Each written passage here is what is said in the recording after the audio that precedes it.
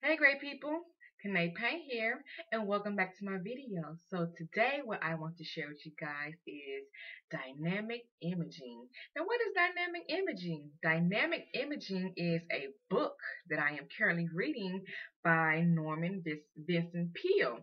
And this book is titled Dynamic Imaging, The Powerful Way to Change Your Life. And I went to the library the other day and was just looking around for some books and this particular book just jumped out at me.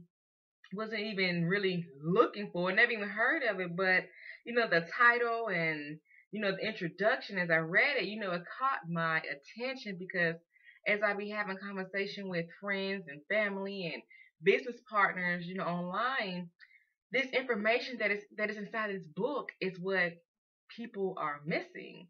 It's like the missing link to, you know, all the questions they have and the problems they have. You know, it's the problem solver, it's the solution. So I just want to read the introduction to you guys so you can get an idea of why I'm excited about this book and what this book can do for you. And as I go through each chapter, you know, I'll cut a video and share the information because I believe sharing is caring. And that's what I'm here for. You know, here just to help the masses, you know, create their freedom lifestyle of their choice, whatever it may be. So let me go on this book for you and just read the introduction. It's not a lot.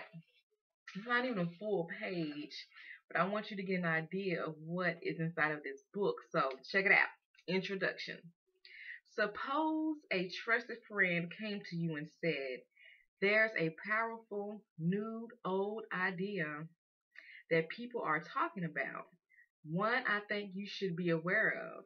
It's a concept available to all of us that can shape and change human lives for the better in an astonishing way. What would you say? You'd say, Tell me about it, wouldn't you? That's what I want to do in this book tell you about it. The concept is a form of mental activity called imaging. It consists of vividly picturing in your conscious mind a desired goal or objective and holding that image until it sinks into your unconscious mind where it releases great untapped energies.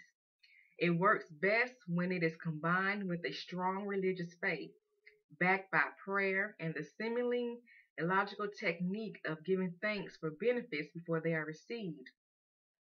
When the imaging concept is applied steadily and systematically, it solves problems, strengthens personalities, improves health, and greatly enhances the chances for success in any kind of endeavor. The idea of imaging has been around for a long time, and it has been implicit implicit in all the speaking and writing I have done in the past. But only recently has it begun to emerge clearly and be recognized by scientists and medical authorities as additional proof that mind and body and spirit are one and indivisible unit as the Bible has been telling us all along.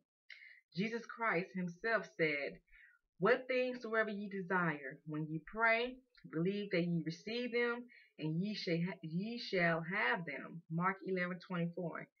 That is the great promise that lies behind the themes of this book.